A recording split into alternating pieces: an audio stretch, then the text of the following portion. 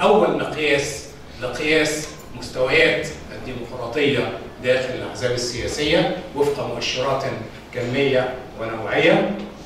آه، في دراسة كانت مهمة جدا في وقتها عن دور الأحزاب الدينية في النظام السياسي الإسرائيلي هم عبد العزيز الشياتي. آه، والدراسة أيضا كانت مهمة جدا في وقتها. وظائف الأحزاب السياسية في نظم التعددية المقيدة. وكانت تجمع بين القضية وبين الحزب اللي فيها دراسه حالة لحزب التجمع في مصر. في رسالة الامام حسن آه، رساله رسالة في ظاهرة الانشقاقات الحزبية مع تطبيق على الأحزاب المصرية. حازم عمر رسالة عن المنافسة الحزبية في مصر صلاح سالم. وفي رسالة باللغة الإنجليزية مهمة جدا دراسة مقارنة للانتقال من الحزب الواحد إلى تعدد الأحزاب في تركيا والبرتغال ومصر هدى ذات.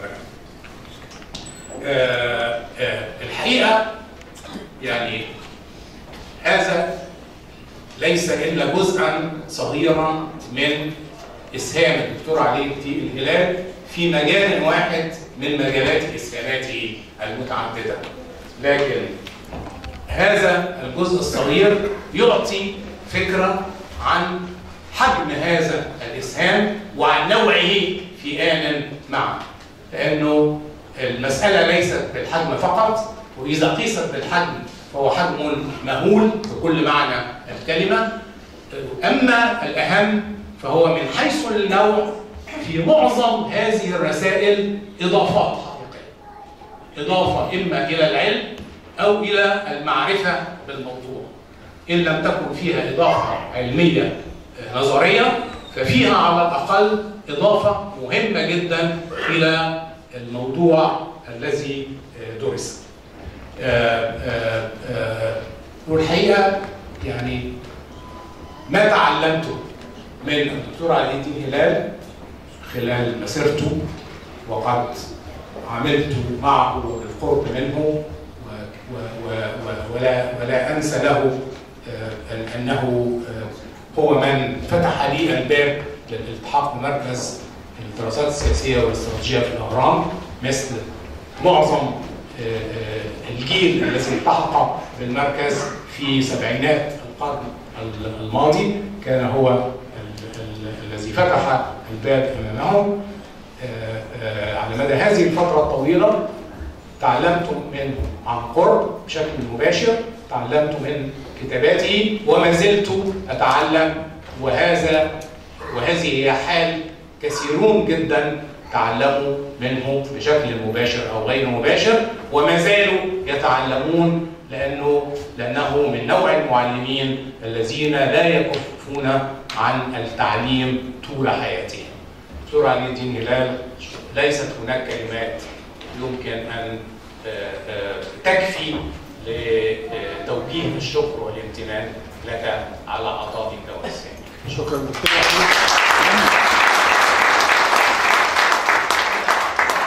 شكرا دكتور وحيد الاستاذ يعني رفيق السلاح. لا انت يعني مدحتني بانك ما حددتليش الموضوع. هو يعني هو إحنا كنا عاملين يعني في يعني اتجاهين فحضرتك يعني رفيق سلاح عشان الدكتور عارفين سعيد فيعني هتبقى المسألة مفتوحة.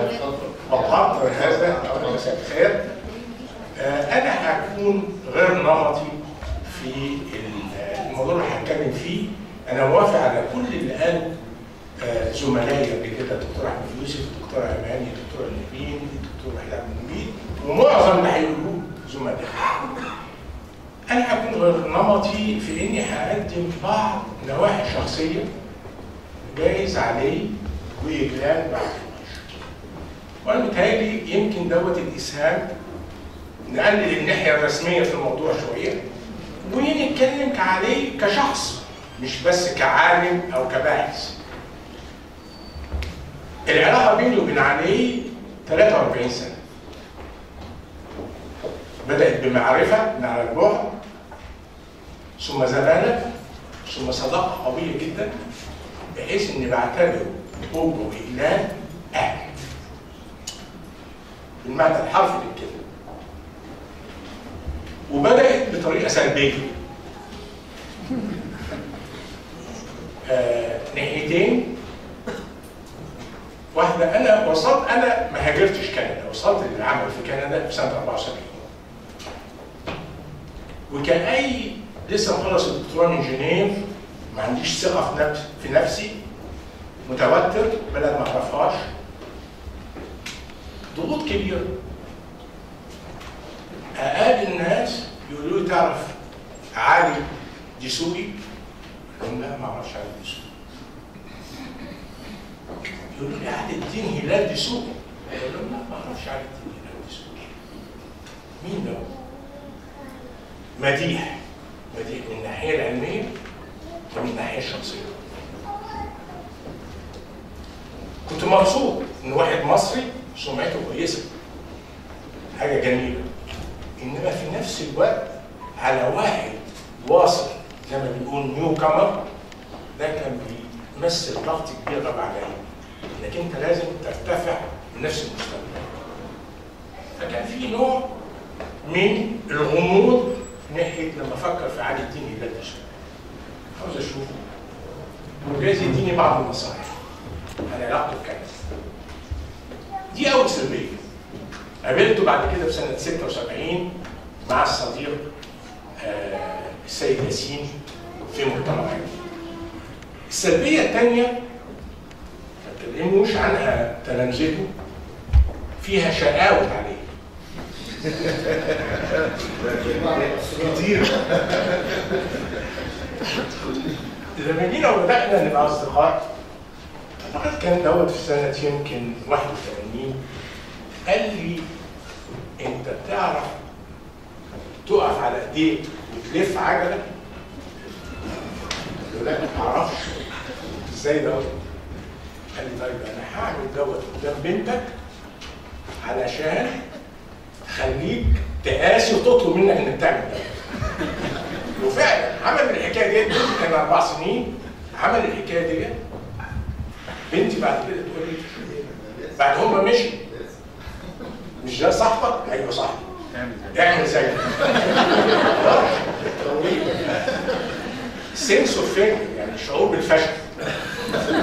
إنما النقطة الرئيسية إن حصل بينه وبين البنت رابطة فظيعة جدا. بحيث إن هو بالنسبة لها لما تتكلم تقول uncle علي. uncle علي و aunty اجلال معناها فعلا عمي وخالتي. لحد دلوقتي لحد دلوقتي. آه وأصبحت في الواقع دوت برضه من الحاجة الجميلة عند علي. الناحية العلمية إنما الناحية الشخصية والعلاقة الصداقة والرباط الأسري.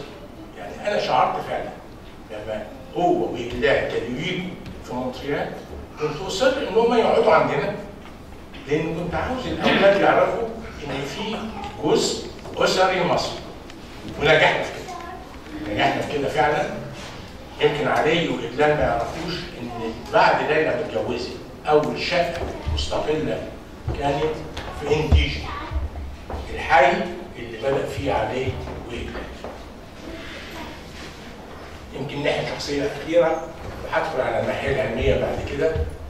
آه بهاء ابن آه علي آه كان في زيارة لمونتريال من سنتين. فقلت لليلى بنتي تعالي شوفي بهاء قالت أنا عندي مرضى ما بقدرش اسيب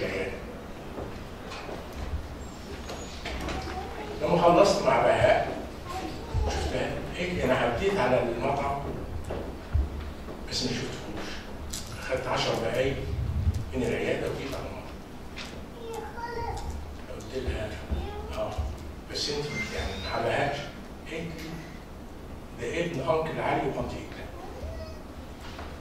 دي بنت ما بتعبرش عن شعورها بسهولة إنما القوة اللي قالتها بيها شعرت قد إيه إنها فعلا ليها عم وليها خال. عاوز يعني آه هتكلم بقى عن بعض الإيجابيات اللي هم الزملاء اتكلموا عنها آه ما اتعرفت على علي وحبيته يعني حبيت الشخص الالتزام في العمل.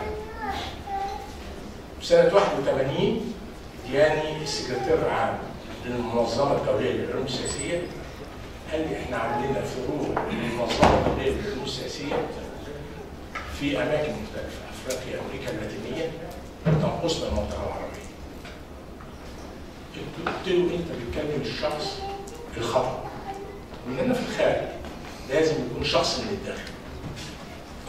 طرحت عليه اسم عليه وأعتقد انها دي كانت البداية للمنظمه العربية للعلوم السياسية اللي اتقابلت في آه، قبرص في سنة 83 أو 82 كان من الطبيعي إن الصداقة كانت صداقة فعلا وعلاقة أسرية تترجم إلى عمل علمي.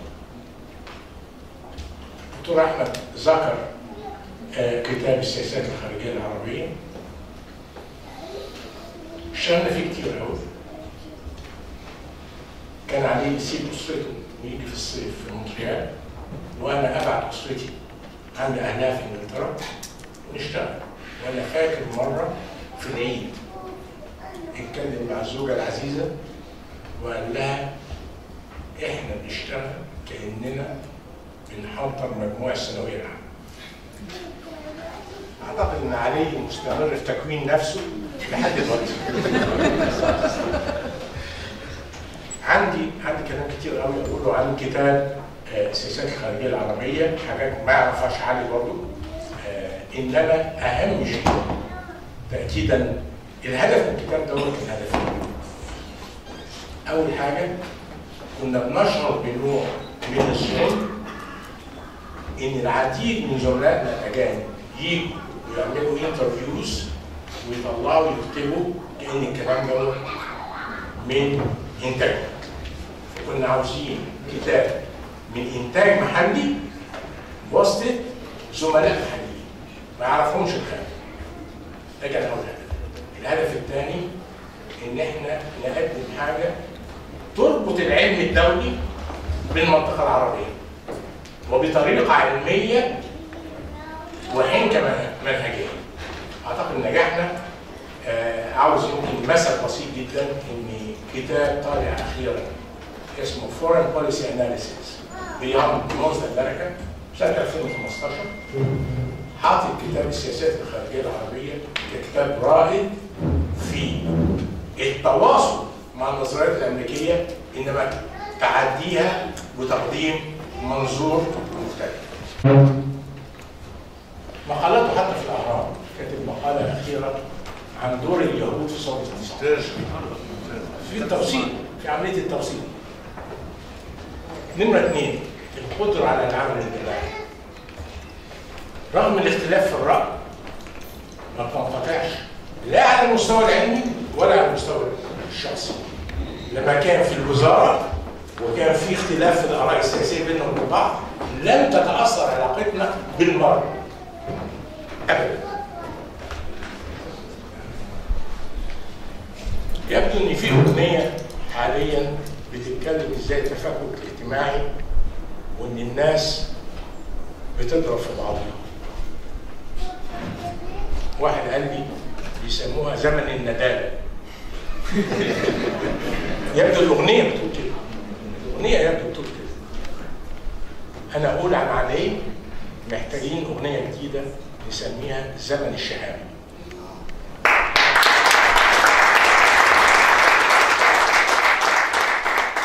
عندي مثل بسيط جدا.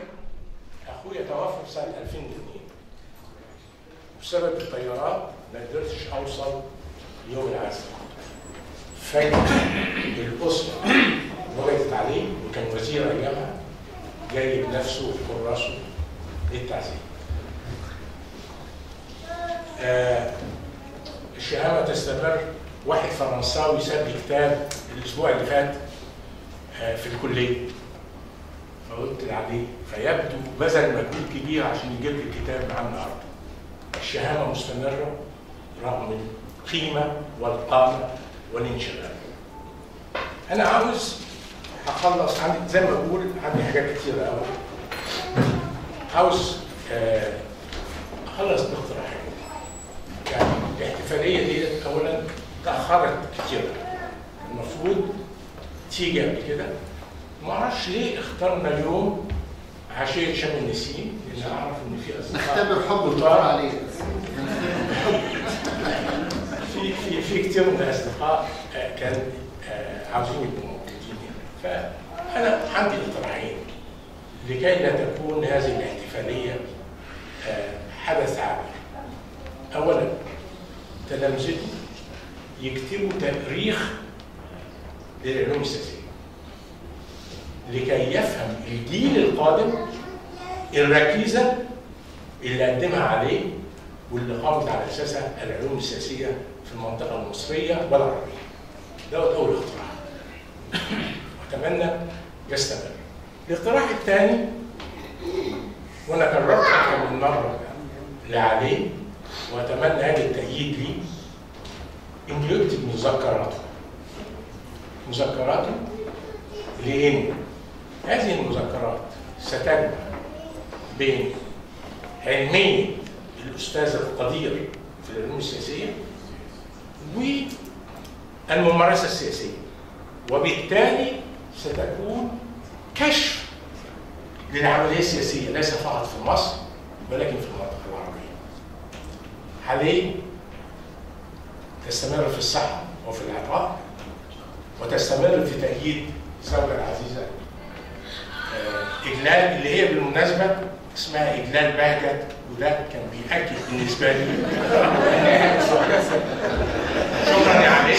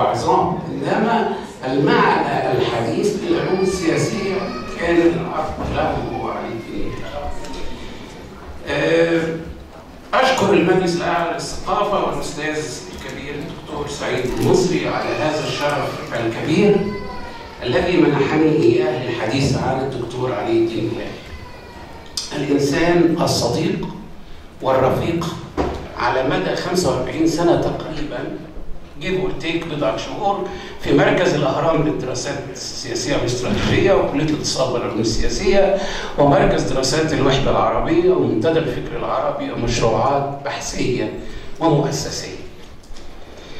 من أين أبدأ؟ هذه كانت دايما مشكلة لي كبيرة في الكتابة وأيضا في الحديث. وكان لابد من استشارة أبي ابني عن ماذا أقول عن عمه علي هرش في رأسه وأخرج الموبايل وعبث به قال احتفال المجلس الأعلى للثقافة الأرجح أنه سوف يكون زي All Achievements Awards في الولايات المتحدة. ولما كان لديه على تليفوني الكثير من هذه الاحتفاءات اخترنا منها ما يخص آل باتشينو روبرت دينيرو جاك نيكلسون وميريل ستريب. وفي الحقيقة فقد كنت أعتقد بشكل عميق أن الدكتور علي الدين في حياتنا وفي جماعة العلوم السياسية المصرية لا يقل أهمية ونجومية عن كل هؤلاء. وقد وجدت أن كل من تحدثوا عنهم بدأوا بالمقابلة التي كانت مع الشخصية لأول مرة اللمحة الأولى والانطباع الأول.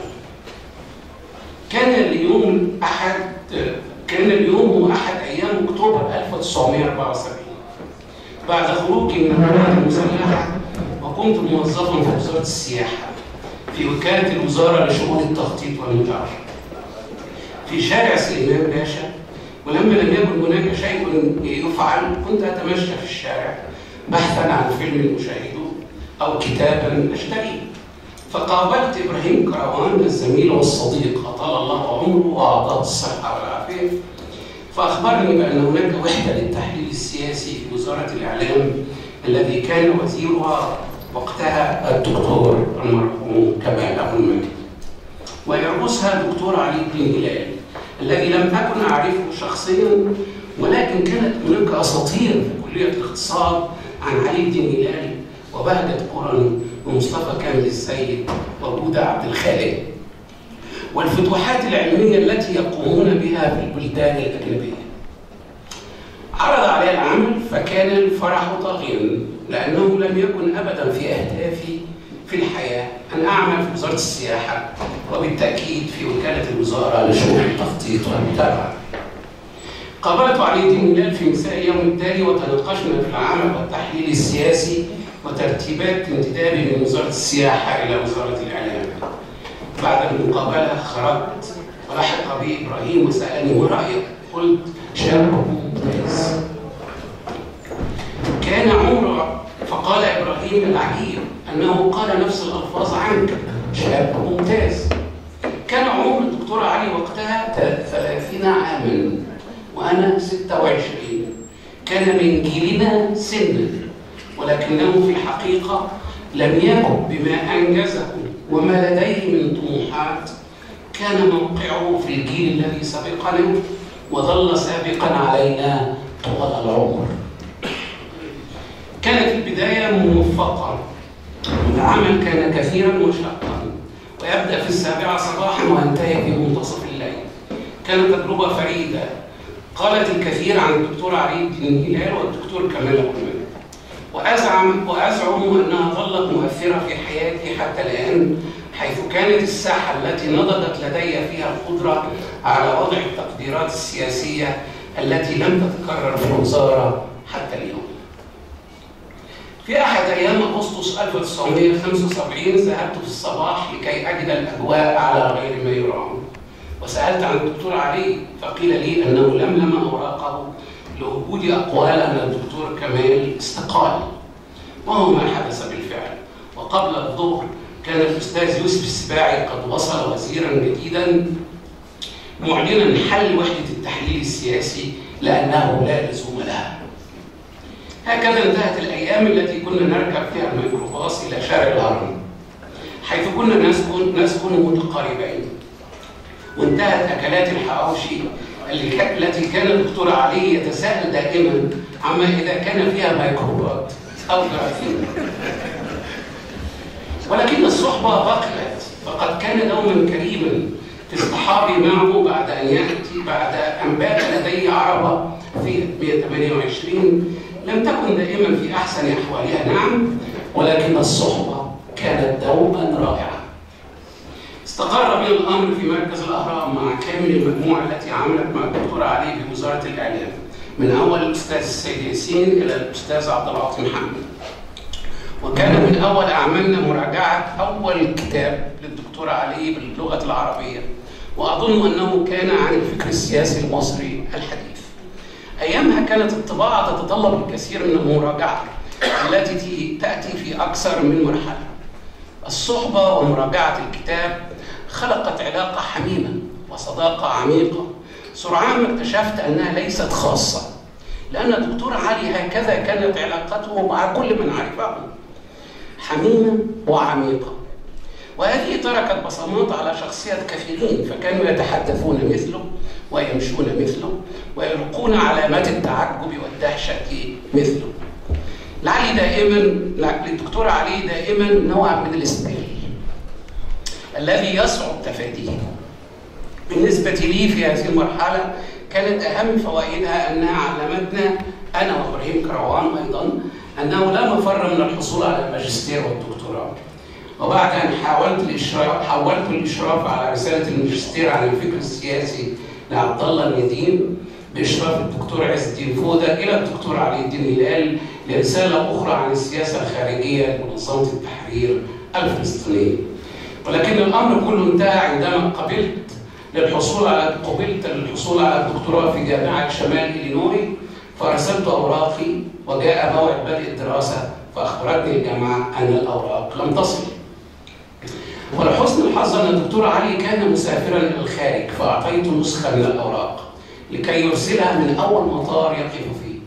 ففعل ووصلت الأوراق وحصلت على الماجستير والدكتوراه ولم تصل الأوراق الأولى إلا بعد شهور.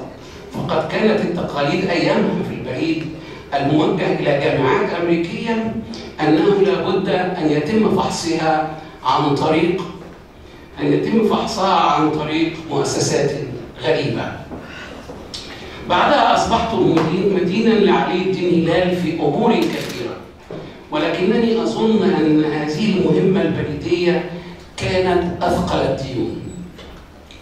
عدت من الدكتوراه في شهر سبتمبر 1982 وبعدها بأيام فتحني الدكتور علي الدين هلال في الانضمام إلى مبتدأ الفكر الديمقراطي وكنا نجتمع في عيادة الدكتور حلمي الحديدي الذي كان وزيرا للصحة في يوم من الأيام للتداول حول كيفية التحول الديمقراطي. نعم الديمقراطي. في مصر.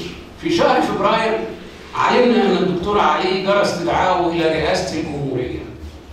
وجلسنا في مركز الأهرام مترقبين وصوله مع الدعوات أن يعود. وعندما عاد أخبرنا أن الرئيس مبارك عبر عن رفضه للمنتدى ولما أخبره دكتورنا أننا أن أهدافنا وطنية كان رد فعله. هو أصلك راجل طيب دول جماعة الشيوعيين كان الدكتور علي مرحا عندما قال أن ما دار في نفسه أن كلمة طيب لم تكن تحمل محتوى إيجابيا. كان ذلك فشلنا السياسي ولكن أعقبتها بنجاح تشكيل الجمعية العربية للعلوم السياسية. ما كنتش عارف إن سببها كان آه التي كان ميلادها في قبرص حيث لم تقبل دولة عربية واحدة أن يعقد المؤتمر التأسيسي للجامعة لديها. كانت المفاجأة أن الوفد العراقي جاء في طائرة خاصة عليها 65 أستاذا في العلوم السياسية لم نسمع عن معظمهم من قبل. وكان معنى ذلك أن يحصل العراقيون على كل المناصب في الجمعية وتصبح بعثية تماما. وفي عرف تلك الأيام كان ذلك يعني فضلا عن بعثيتها وتبعيتها المباشرة للرئيس صدام حسين. كنا 17 مصريا وبالفعل دارسين وباحثين وأكاديميين في العلوم السياسية. وجاء من بقية الدول العربية وفودهم قليلة العدد. وهؤلاء أصابهم ما أصابنا من ذهول ولكن كانت في يدنا ورقة هامة وهي الانسحاب ولكن العراقيين لم يكن يمكنهم العودة إلى العراق بدون جمعية فبدأت مفاوضات شاركت فيها مع الدكتور علي ولما كان الوفد العراقي يضم شخصية مخابراتية كانت هي الحاكمة فقد تصور العراقيون أنه لابد وأن المصريين لديهم نفس النظام وكان ظنهم أن الدكتور أسامة الغزالي حرب هو ممثل الأجهزة فذهبوا للحديث معه. انتهينا في النهاية إلى توافق مصري عراقي بأن تكون الرئاسة الشرفية لهم والأمانة العامة التي فيها يعني كل العمل مع المصريين. وأصبح الدكتور علي الدين هلال هو أول أمين عام للمنظمة وبعدها أصبح ثاني الرؤساء وكان أول أعمال الجمعية هو عقد ندوة عن الديمقراطية في الوطن العربي وتعقد في بغداد. ما حدث في بغداد قصة أخرى؟ تماما ربما الصديق العزيز أماني أنديل أفضل من يحكيها عن ذلك.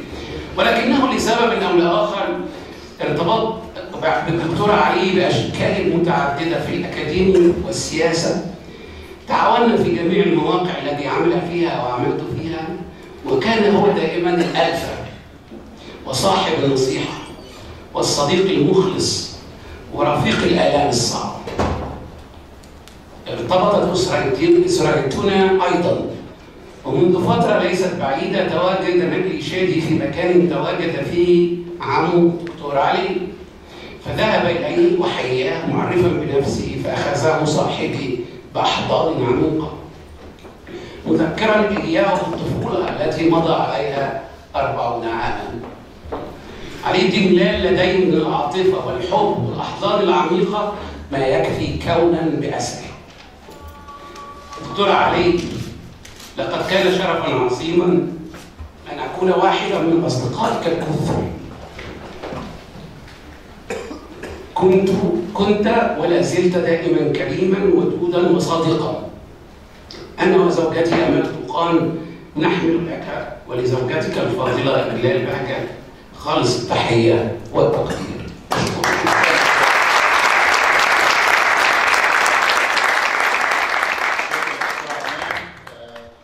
السفير عزمي الفكرة شكرا جميعا اتمنى بس على حضراتكم يعني نتصل شوية أنا عارف طبعا انه يعني مش من حقي ده لكن في اداره بس بعض الوقت خصوصا عندنا في كلمه وبعدين برضه عايزين نسمع بعض عفوا مساء الخير اولا ثانيا شرف ليا وشرف لاي انسان انه يتكلم عن أستاذ الدكتور علي الدين هلال أنا تلميذ من تلامذته فعلا من سنه 73 درست لي في اعدادي ماجستير في سنه 74 سجلنا الماجستير مع بعض تحت اشرافه واشراف الدكتور محمود خير رئيس الحقيقة بس الدكتور علي هو اللي كان عندي يعني بتاع إيه ومن ساعتها ما انقطعناش لغايه لما خدنا الدكتوراه وما بعد حقيقه علشان اتكلم عن الدكتور علي الدين هلال أنا يمكن انهج نهج مختلف على حد كبير عاوز اتكلم عن بعد. اشار اليه اتكلم عليه جميعا قبل كده اللي هي فكره الرعايه الانسانيه. فكره الرعايه الانسانيه اللي بنقول عليه فكره اصيله فعلا. ولولا الرعايه الانسانيه لعزم خليفه ما كان عزم خليفه ولا كان دكتور ولا كان هيعمل ماجستير ولا كان هيعمل حاجة بالمرة. لأن في مطبات مريت بيها في حياتي وكان له اليد العليا في إنه ينجدني منه. مميزات الرعاية الانسانيه بتاعت الدكتور علي الدين هلال الحقيقة كثيرة إنما أهمها إنها رعاية أسرية.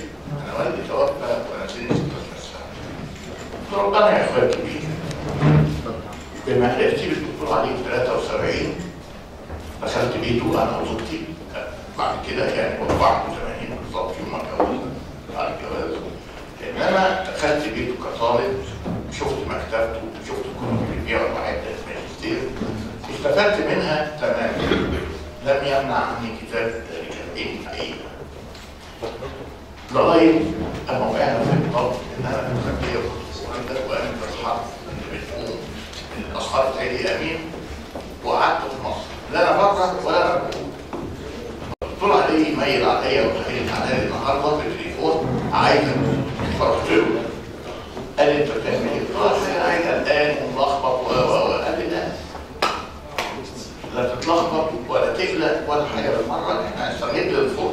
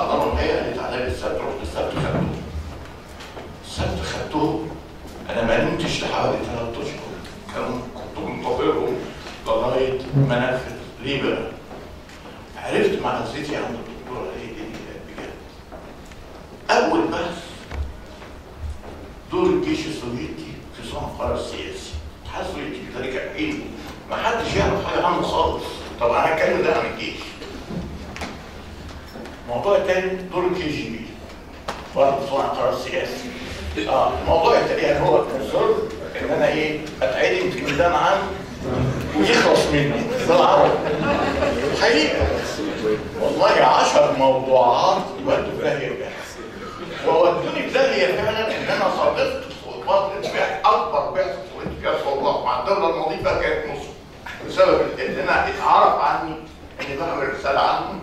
ما قلتش هي إيه ما حدش قال هي إيه بس واحد منا في السفاره طيب أمير قال عزمي بيعمل حتى دراسة عنكم فعنها وبدأوا يعني يقلبوني بقى واعتقدوا إن أنا آه، احد أفراد الأمن من أحد الأجهزة المصرية.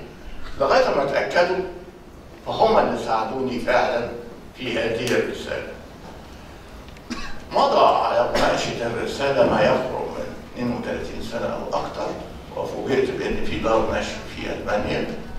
بعتالي قلت له إحنا عاوزين ننشر الرسالة بتاعتك. قلت له طيب واتفقت وياهم على تحديثها فعلا وحدثتها فصلين مش ده فصل عن المرحلة الروسية. وخدوها ولغايه دلوقتي أنا يعني مش مهتم قوي إني أقرأ اسمع منهم حاجة أو ابعت لهم استعجلهم أو ذلك إنما ده يدل على إيه؟ موضوع بتكتبه من 32 سنة أو من 30 سنة. ولسه بيدوروا عليه يتنشر النهارده. ده معناه حداثة الموضوع بالنسبة لهم واهميته وإنه موضوع له قيمة. ودي كانت من الاختيارات الحقيقة. دكتور علي مثال فانا ساعتها قلت الحمد لله كده. لا الراجل ده قريب واخد نظر أنا ما شفتوش ساعتها خلاص كده انتهينا وأكد لي هذا الحقيقة المرحوم الدكتور انور عبد الملك. كان زيارة هناك في موسكو. وعرضت عليه البروبوزال اللي أنتوا بتعملوا مع مين يا ابني؟ مع الدكتور علي الدين. قال لي ما فيش غيره هو اللي يقول لك موضوع زي ده بتعمله طيب حاجة الثانية قوي أنا في مناقشه الرسالة تعرضت لموقف سخيف ان أنا نزلت مصر قبل المناقشه بأسبوع وهي اجازه أسبوع وأنا عايش فيها وفوجئت إن شؤون الدراسات اللغويه لم ترسل اوراقي إلى الجامعة. جبت المديره ليه يا ستي قالت لي هو أنا قلت قلت عزم شايفة قاعد بره بيقبض بالدولار معقولة يشيل الدولار ويجي يناقش بالسلسله قلت لها مش معقول اضطريت طبعا إني أرجع للدكتور علي الحقيقة بصبر وبحكمة منه ولا أنسى فضله ساعتها انه كلم الدكتور آه، الجوهري محمد الجوهري كان في اجازه وقال له عندي طالب الورق بتاعه متأخر وعاوزك يا محمد تخلصه بسرعة قال له حاضر بكرة وهعمل الورق. أنا قاعد عند الدكتور محمد الجوهري داخل السكرتيره طلب لها مش عايز وسطى أنا عايز في ورقه بتاعت واحد اسمه عاصم خليفه من كلية الاقتصاد بس. وفعلا خدتها ورحنا وخلصنا. أنا لغاية يوم المناقشة الساعة 2 الظهر ما كنتش عارف كنت هناقش ولا مش الساعة 2 عرفت إن أنا هناقش وناقشنا فعلا الساعة 4 يا بني. طبعا أنا لو استرسلت في هذا مش هقدر اوفي الحقيقة الدكتور علي الدين هلال آه، حقه في وقفته جنبي في رعايته ليا في عنايته. ما قدرت أذكر يوم رسالة بناقشها مع سيادته ومع دكتور شاديه في الكليه بتاعت أحمد شايش. هو قاعد كده. لا ما عارف. دكتور علي سابني دخلنا اللجنه وأنا بقى إيه لجنة منفعل جدا لسبب بسيط. رئيس اللجنة هو الاستاذ الدكتور علي الدين هلال والاثنين الأعضاء وياه تلامذته فدي لجنة ما تتكونش كده بالساهل يعني ما تتكررش كتير. بدأت بقى أفكر إني اكتب عناصر خطبه اسمر واحدد مناقب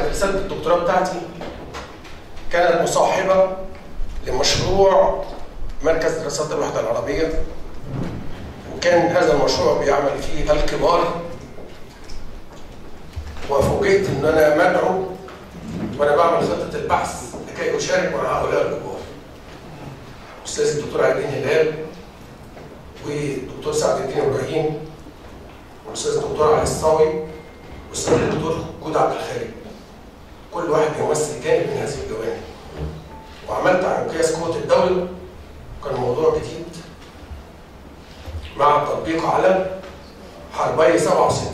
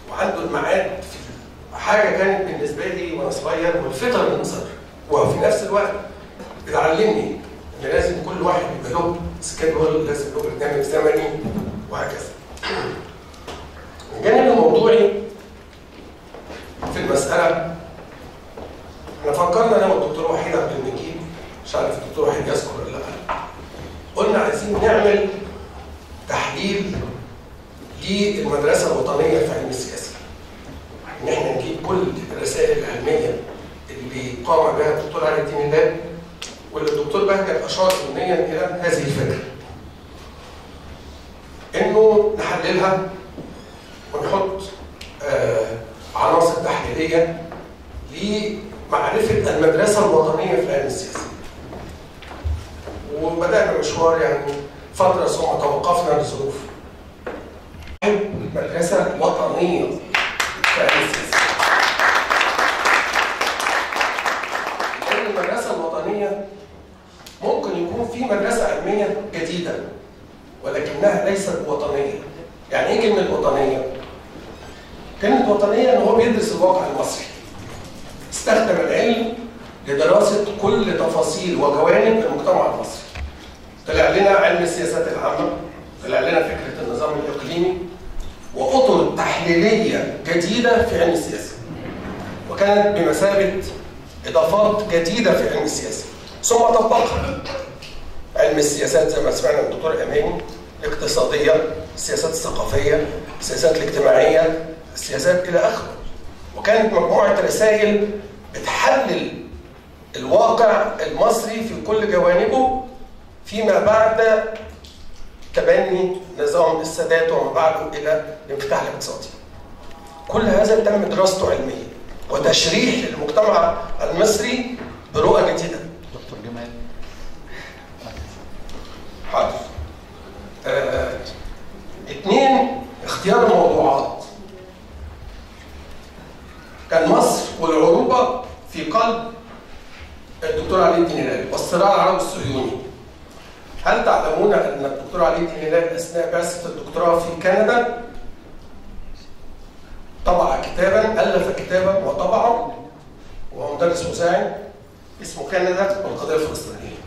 كتاب صغير صادر من مركز الأبحاث للدراسات الفلسطينية. يعني ال- ال- العروبة والمنطقة في عقل وقلب الدكتور علي الدين هلال عشان كده بنقول ده مدرسة وطنية. علمنا في الإشراف إنه كيف نختار الموضوعات وبالتالي انعكس علينا لما بنواجه طلابنا علمنا الأمانة في البحث العلمي. والفصل ما بين ما يعرف الحقيقة وذاتيه البحث الحدود. علمنا الموضوعية في التناول بعرض كافه وجهات النظر. ما يقتصرش على عرض وجهة نظر واحدة. وده بيأكد اللي الزملاء قالوه الافق واسع. علمنا الأمانة العلمية. الأمانة العلمية. بعد ما خلصت رسالة الدكتوراه وكتبتها وفاجئ بالدكتور بيقراها قال لي الشغل ده ما ينفعش خالص. ليه في خطأ؟ اكتشف الدكتور علي الدين ان في خطأ في الإحصاء فكان الدكتور علي نصار كان وجهني بطريقة وأنا فهمت غلط أو حاجة فبحسه سياسي والعلمي لقينا في خطأ. قعدنا فيها ثلاث أشهر. اكتشفنا إنه لما جينا اتكلمنا عن حرب 67 و73 كنا على حدة إن في وجهات نظر ناقصه فقعدني شهر رمضان كاملا في الجامعة الأمريكية المكتبة لا أغادرها من الصبح حتى تغلق لكي أستقبل هذه الجوانب حتى استكمال الرسالة. كمان طبعا إضافة لزملائي جمعية البحث العلمي كان بيعقد سيمينار أسبوعي لكل الطلبة اللي مسجلين معاه ويشوف تطور كل باحث ومرحلته. وكمان كانت فرصة إن إحنا نتعرف على بعض كزملاء عشان تتكون المدرسة العلميه كمان احترامه لخصوصية الباحث. وآراءه. ولا يتدخل في الرأي. يتدخل في المنهج. يتدخل في ضبط العمل. إلى آخره. أنا عايز أختتم بانه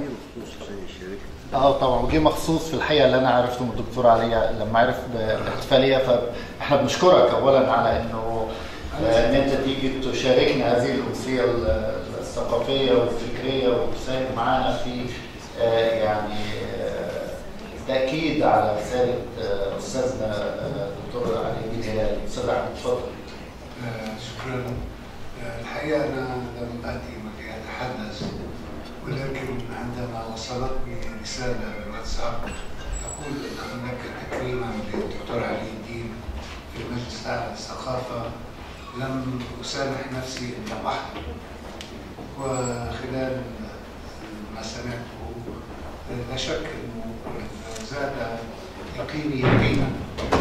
إلا أنه آه، الحقيقة لحتى نحط الأمور في نصابها وأنا مواطن آه، قرأته في كتاب.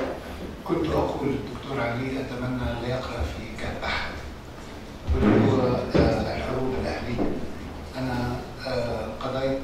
80% من حياتي في مجتمع النزاع لذلك بنيتي الفردية أو بنيتي الذهنية تختلف عنكم تماما وهي أول حاجة عايزينها الصبح نحدد اللحظة.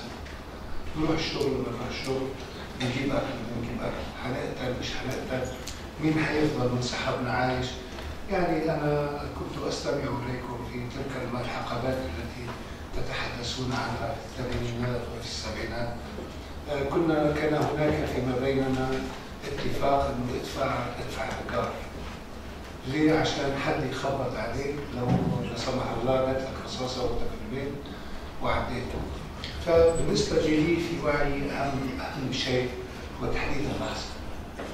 وهذا ما زعلني عندما تعرفت على الدكتور علي وأنا طبعا سرقت منكم من أنني استمعت بصحبه الأستاذ نبيل عبد الفتاح استمعت لتحديد اللحظة الراهنة في مصر وفي المنطقة بمنتهى الدقه وهذا ما يتميز به آه، الاستاذنا الكبير. وأنا آه، خلال آه، استماعي أنا عايش في مرحلة آه، هي مقارنة بين البحث عن الذهب وصناعة الذهب. ونحن في أمس الحاجة إلى صناع الذهب لأنه الذهب الحقيقي هو العقل البشري وكل ما شاهدت به للدكتور علي يقول بأنه قادر على تقييم وتقدير كل طاقة بشرية وكل إرادة في التغيير وفي التطور وفي التعلم وبالتالي هذا ما اعنيه بصناع الذهب ونحن عشنا سنوات طويلة في البحث عن الثروات وليس عن صناعة الثروات وفي حديثنا امبارح آه، اردت أن أقول له انه ان الأوان بعد أن فشلت أنا شخصيا في تجربتي في تأسيس مجلة المدنيين العرب على مدى 40 سنة في تحديد شخصيه الشخصية المدنية العربيه. وبالتالي نحن نشهد الآن تحولات كبرى يعاد استخدام هذا التعبير وهذا التعبير بامس الحاجة. فقرأت اليوم مقال في في الاهرام وهو يحدد ملامح شخصية الشخصية المدنية اللي هي يجب أن تكون نتاج طبيعي لهذه الثورة الصناعية الرابعة في مجتمعنا. عندما أول مرة تعرفت على الدكتور السعيد الدكتور علي الدين كنت هائما أريد ان من يحتويني في طرق باب ثقافة السؤال. كان معنا السيد ياسين الله يرحمه والتقينا صدفه في احدى الليالي مع أستاذنا الكبير وبالتالي لم يكن أحد يريد أن يقارب مسألة أنه نحن على ماذا نجيب؟ هناك الكثير من الإجابات ولكن أين السؤال؟ وبالتالي كل تجارب التقدم وتجارب النهوض هي كانت السؤال بكيف كيف نصنع واقعا جديدا وهذا الأمر كان يقابلنا بعد ما شاهدناه في سنوات بعد 2011 وفي مناسبة الذكرى السبعين في الجامعة العربية.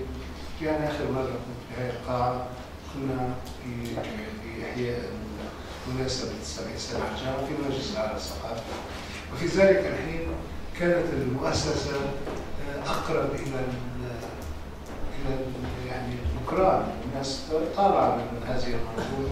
وبالتالي كيف تقارب هذا الموضوع؟ فاستطعنا بدعم وعناية.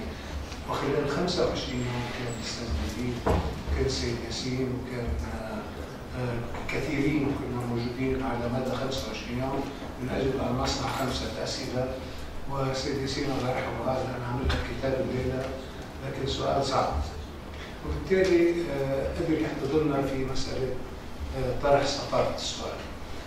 في جملة ما ما ما ما, ما أضيف إلي الآن أن كتلة هذه العناوين التي تم مقاربتها في الأكاديميات المصرية هي لم تصل بشكل طبيعي وبشكل إعادة تحريك.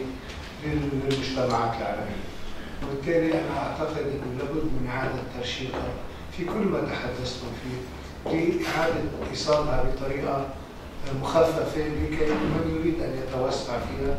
ولكن لابد من أن نعيد أن نصنع شيء من بنك بنك معلومات أو يعني صفحة قائمة حول مجمل هذه الدراسات آه، أنا متشكر أنه سمحتوا لي أن أتوسع إلى هذا القدر بمحبتي وتقديري للدكتور علي وشكرا لك. شكرا.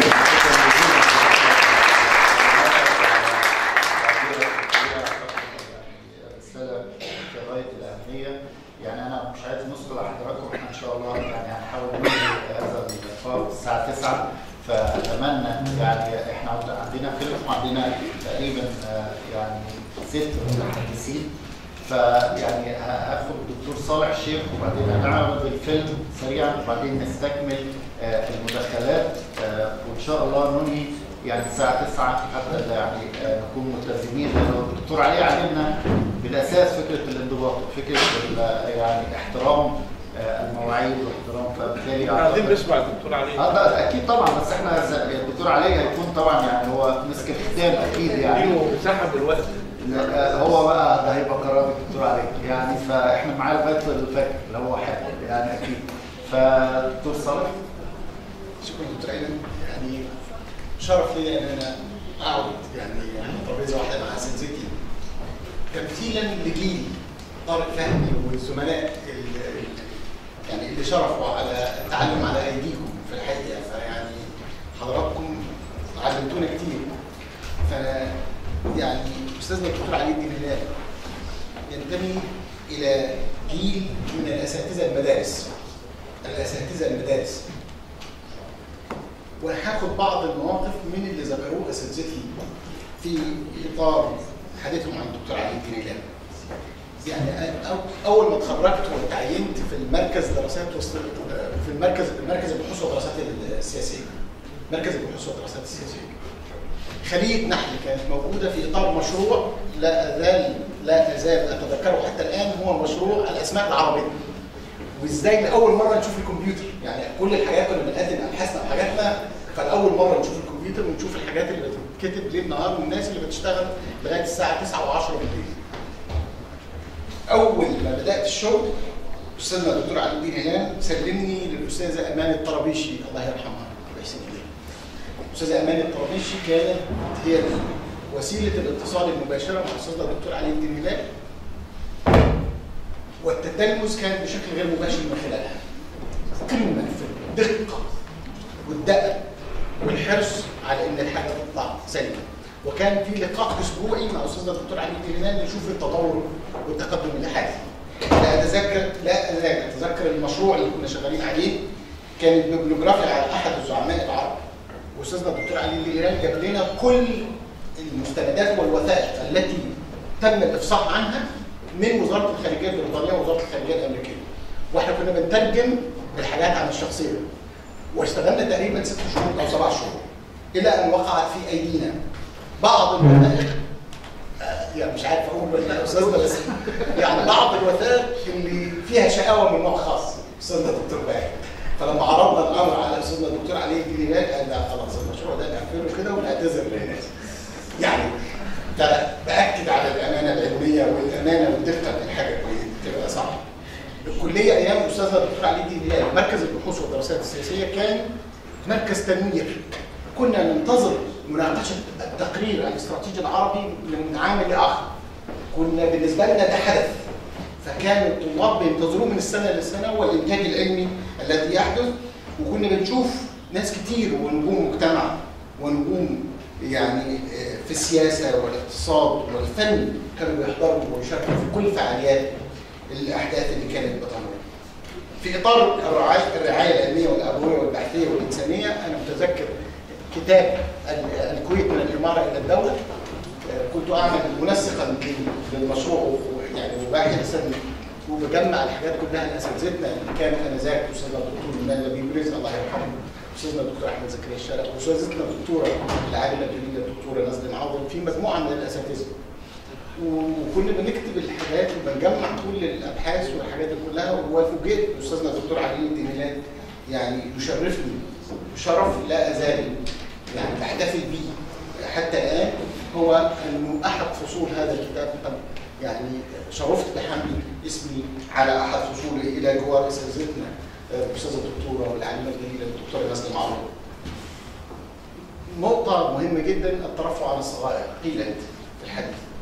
أستاذنا الدكتور علي الجلال بعد ما تعينت بعد ما كنت باحث أو باحث مساعد كانوا يسموها آنذاك فتعينت في الكلية معيد بس في قسم آخر. أستاذنا الدكتور علي الجلال قال لي أنت يا أستاذ دايما كان يقول يا أستاذ يا أستاذ مفصول فانت هتسيب المركز طب ليه حضرتك هتصدر مني أي حاجة؟ قال لي لا حضرتك اتعينت في الكلية في قسم آخر يبقى تسيب المركز تروح تركز في الشغل اللي أنت بتعمله. شعرت ببعض الحزن انذاك ولكن تعلمت من الدرس في بضع سنين عندما كان محقا في هذا التصرف وقد إيه أنا اتعلمت منه لأني اشتغلت أربع سنين ادرس الإدارة العامة وكأني باخد بكالوريوس جديد. استاذنا الدكتور عبد المنعم سعيد أشار إلى الامتنان. في إحساس وامتنان كبير جدا من قبل طلاب استاذنا الدكتور علي الدين هلال. وخلاني زي زي غيري نسمي أولادنا على اسم الدكتور علي. فانا اسم ابني الأكبر على اسم والدي الله يرحمه، اسم ابني الثاني على اسم استاذنا الدكتور علي. وأعتقد ناس كتير وعايز اعترف لحضرتك بحاجه حضرتك لما يعني بتدينا الكتب. فأنا أرجو إن حضرتك تسامحني عشان كل الكتب اللي حضرتك اديتها لي ما رجعتلهاش تاني. باعتراف فأنا سامحني لأن مشروع. مش هقدر أرجعه لحضرتك. مشروع أنا بطبق عليهم finders keepers فهو كل الكتب اللي حضرتك يعني ربنا يمتع حضرتك بالصحة والعافية. في الحقيقة بصمات حضرتك على حياتنا العلمية والشخصية. يعني واضحة دمت بخير مع الله شكرا.